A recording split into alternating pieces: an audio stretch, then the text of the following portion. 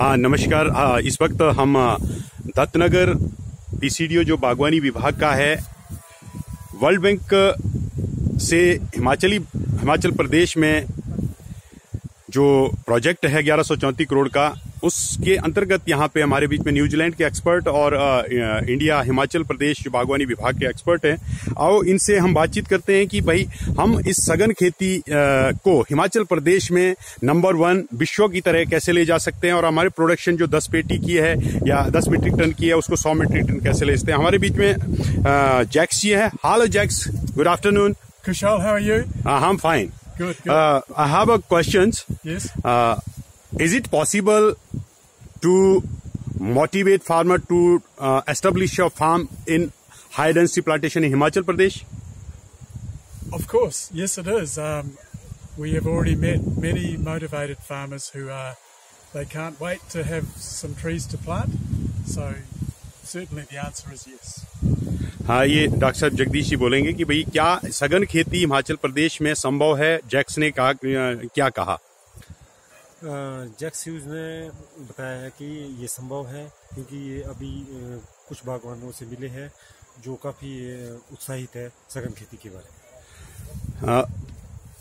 What is the key points for establishment of orchard in H D P key points you have already presented in presentation yes well for for M nine it's very important that the trees have water for irrigation uh, because in the early spring uh, and beginning of summer you you don't have a lot of moisture in the soil and M9 need water.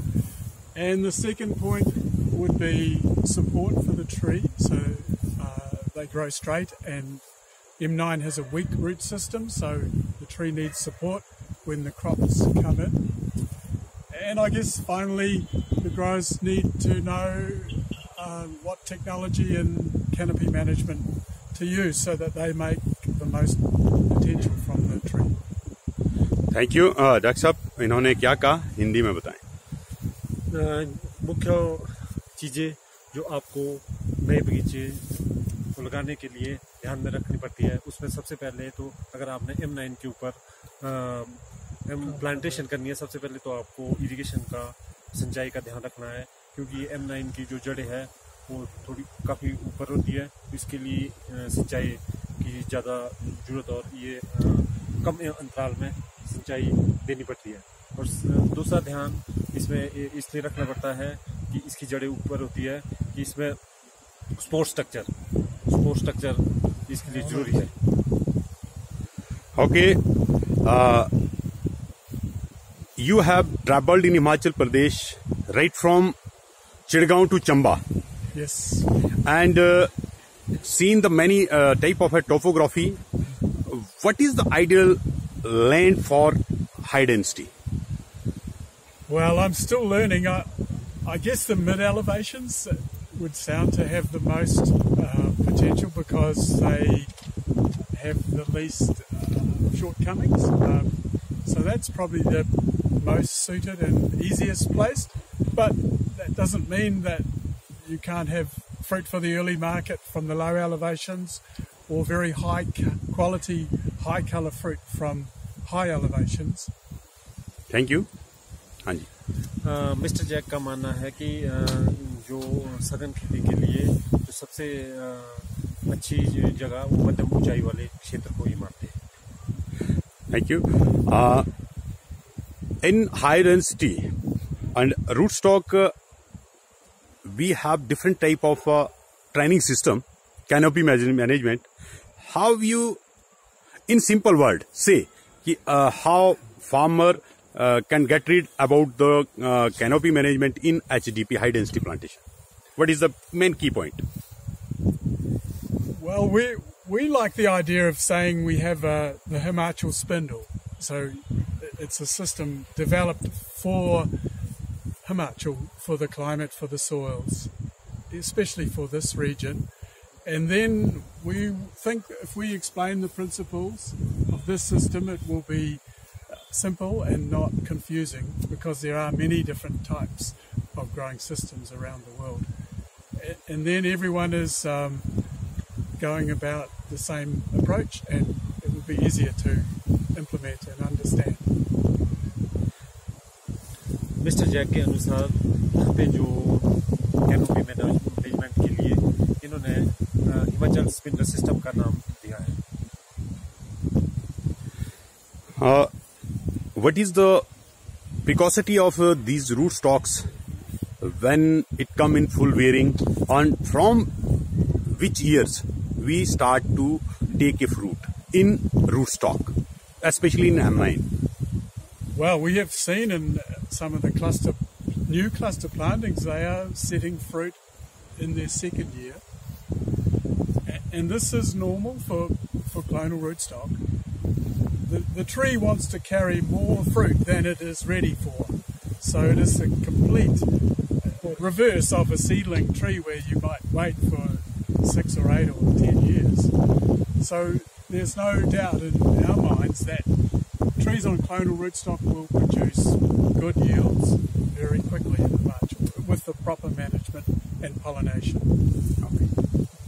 Mister Jack के अनुसार अ, जो M nine पे दो साल के बाद fruit आना शुरू होता है और अ, इनका ये मानना है कि छः से दस साल के अंदर एम नाइन के अ, ऊपर पौधा पूरी क्षमता में fruit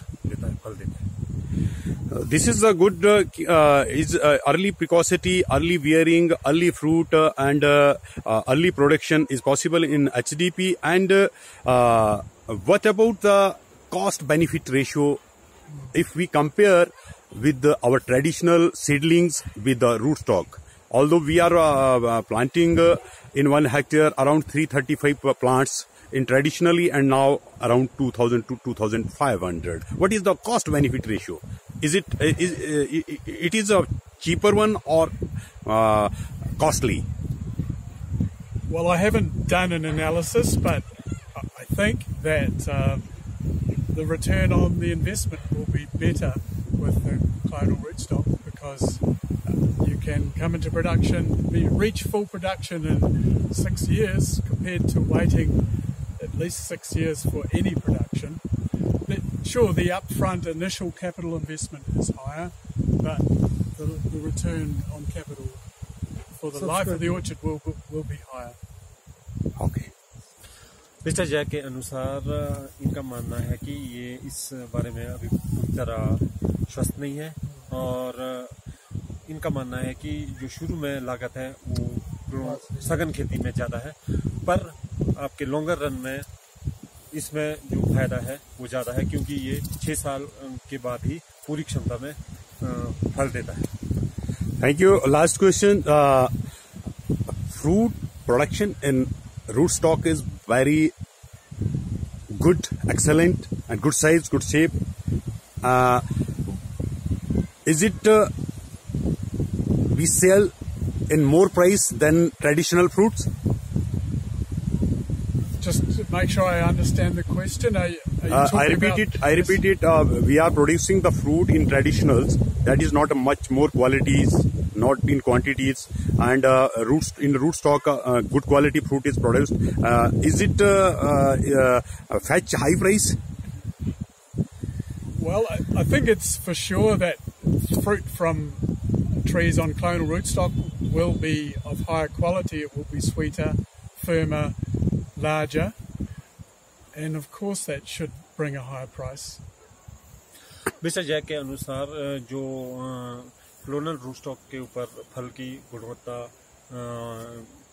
क्वालिटी के हिसाब से अच्छी रहती है और जिसके कारण वो मार्केट में हमें अच्छे दाम मिलते हैं, इनके thank you Jacks and thank you both Jacks कि आप लोगों ने हमारे बागवानों के लिए एक संदेश दिया कि भाई सघन खेती एक अच्छी खेती है। हमारे बीच में हुडन जी है और ये भी मैसेज है कि ये क्लस्टर बनाने हैं, बना रहे हैं तो कैसे क्लस्टर बनाने की प्रक्रिया है? प्लीज़ हुडन जी। ये जो एचडीपी का कार्यक्रम है, पूरे हिमाचल में चला है, इसके अंतर्गत शुरुआत में जो है, बागवानों को जो इस हाई डेंसिटी प्लांटेशन के बारे में जागरूक किया जाएगा और साथ ही साथ इसमें एक क्लस्टर को जैसे पहले तय हुआ था कि भाई कम से कम जो है दस हेक्टेयर एरिया इसमें क्लस्टर फॉर्मेशन के लिए नहीं होना चाहिए। परंतु हिमाचल की जो भौगोलिक स्थिति को देखते हुए अब ये निर्णय लिया गया है कि 10 हेक्टेयर से कम एरिया भी इस कार्यक्रम के अंतर्गत जोड़ा जा सकता है। और दूसरा, जहाँ तक बात रही हाई डेंसिटी प्लांटेशन के लिए जो है, खासकर जो हमारा रूट स्टॉक है, उसके लिए सिंचाई की व्यवस्था ज़रूरी होनी चाहिए। परंतु लोगों के बीच में अभी तक यही मैसेज आ रहा है कि हाई डेंसिटी प्लांटेशन ही इस कार्यक्रम के तहत ऐसा नहीं है। इसके अंतर्गत जो वैज्ञानिक तौर तरीके से जो हमारे स्नाइल कंडीशन में जो बगीचे चल जा रहे हैं उनका रेजुनेशन उनके जीर्णोद्धार के लिए और उसका साइंटिफिक ऑर्चर्ड मैनेजमेंट के लिए किस तरह से जो है उसे उसमें गुणवत्ता वाला फ्रूट अधिक फ्रूट पैदा करना है उसके बारे में भी जो हमारे बाहर के भी एक्सपर्ट है या बागवानी विभाग के या नोनी यूनिवर्सिटी के वैज्ञानिक हैं वो सब मिलकर इस विषय पे काम कर रहे हैं और आगामी जब तक ये प्रोजेक्ट का कार्यक्रम रहेगा इन चीज़ों के बारे में भी लोगों को इस कार्यक्रम के तहत जोड़ा जाएगा और बताया जाएगा ताकि हमारा जो ट्रेडिशनल सिस्टम है जो अभी हॉर्टिकल्चर का वो भी साथ साथ इतना ही डेवलप हो कि वो जो हमारा क्लोनल रूट स्टॉक में जो पैदावार होगी उसी तरह की उसकी भी क्वालिटी फ्रूट की पैदा हो कहते हैं कि फ़ैशन चेंज होता है। रियली में पहले रॉयल सीडलिंग का बड़े बड़े पौधे का फ़ैशन था और अब जो है आ, हमारे नौजवान भी छोटे कपड़े पहनते हैं और अब छोटे पौधों का फ़ैशन हो गया है तो ये बखूबी है। तो हमारे बीच में आज डॉक्टर बलवीर जी हैं जो इंचार्ज है इस सुंदर से पीसीडीओ के जहाँ पे रंगत ला ली है जो सूखा इससे पहले बिल्कुल सूख गया था जब से इनकी टीम ये लोग यहाँ पे कार्य कर रहे हैं। तो बड़ा मज़ा आया है आज की ट्रेनिंग में। तो डॉक्टर साहब हम आपसे जानना चाहेंगे कि जो विश्व बैंक बैंक का जो ये प्रोजेक्ट है, इसके तहत क्या क्या कार्य पीसीडीओ में हो रहे हैं और क्या क्या कार्य आप हमारे बागवानों के लिए कर रहे हैं? डॉक्टर बलवीर। डॉक्टर साहब, हमारे पास 2016 में यहाँ पे लगभग बीस हज़ार mothers as a mother stool stock import हुए थे। और अठारह हज़ार के लगभग ग्राफ्टेड विप और फेदर प्लांट्स जो आए थे जो पी क्यू साइज़ में रखे थे। वो तो हमने लास्ट ईयर सारे जो डिस्ट्रीब्यूट कर दिए हैं जो ग्राफ्टिंग प्लांट्स थे। जो रूट स्टॉक हैं वो यहाँ पे मल्टीप्लाई हुए और उन्हीं रूट स्टॉक को हमने पिछले विंटर में सेपरेट किया और उनके ऊपर जो है ग्राफ्ट करके जो है वो यहाँ टेबल टेबल ग्राफ्टिंग की गई थी मार्च में। और वो आपके सामने बिल्कुल आइडियल हैं। हाँ। तो, तो इसमें काफ़ी अच्छी ग्रोथ हुई है। पिछले मतलब अप्रैल में क्राफ्टिंग हुई थी और उसके बाद काफ़ी अच्छी और बाकी हमारा, हमारी कोशिश ये है कि सर्दी में हम इस प्रोडक्शन को और ज़्यादा बढ़ाएँ, क्योंकि अभी इस बार की जो टेंटेटिव फिगर्स आ रही हैं, लगभग साढ़े पाँच हज़ार के लगभग हम जो है क्राफ्टिंग प्लांट्स अवेलेबल करा पाएँगे World Bank thank you doctor साहब हमारे बीच में अभी uh, और एक्सपर्ट्स हैं और इनसे बात करते हैं। Excuse me one message from your side to our our farmers of Himachal Pradesh one message one message या huge potential here thank you very much thank you very much and another you regarding your subject related what message what you have what difference in New Zealand here what you want to add up here Fumigation. In terms of replant, Yeah. um, if you were able to fumigate, you would get much better results. But that is not an option at the moment. Thank you ये बोलते हैं कि अगर हमने rejuvenation करना है तो fumigation के बगैर नहीं कर सकते तो वो ज़रूरी है इनसे सीखेंगे। आ, आओ अब हमारे बीच में जिम बॉकर जी हैं और ये बड़े जेम्स हैं और कंप्यूटर के भी बोलते हैं और बाकी सारी चीज़ के। What is the message from your side regarding the apple plantation in Himachal Pradesh what what message your sides The, poten- the potential here for biological control and reducing pesticide use is enormous. You have uh, all the suite of uh, natural enemies uh, that you need. Uh, you could substantially reduce your pesticide use, and uh, I think that's a, real opportunity for Himachal. Thank you ये कहते हैं कि भाई जहर जहर करके आपने यहाँ की खेती को जहर वाली बना दिया है और अब उसको जहर मुक्त करने के लिए नेचुरल एनिमी का बढ़ावा देना है। अब हमारे बीच में डॉक्टर देवराज काहित जी है, जो यंग एंड स्मार्ट हैं और ये हमेशा क्लस्टर बनाने में सबसे पहला इन्होंने क्लस्टर बनाया है। तो डॉक्टर साहब आप ग्रोअर को क्या कहते हैं कि ये क्लस्टर बनाना बड़ी टफ चीज़ है और ये ईजी है? कैसे कर रहे हैं? आपके पॉइंट ऑफ़ व्यू से। नहीं क्लस्टर बनाना बहुत आसान है। आप जो पहले लोगों के साथ गुण मिल जाए, पहले सर्वे करें। है ना, और उसके बाद लोगों को बताया कि हमारी ऐसी स्कीम है। फिर जाके जो लोग जो आपके साथ धीरे धीरे जुड़ना शुरू हो जाएँगे। इसके क्लस्टर बनाना मुश्किल नहीं ये है कि लोग उतना मोटिवेट करते हुए थोड़ा टाइम लगेगा।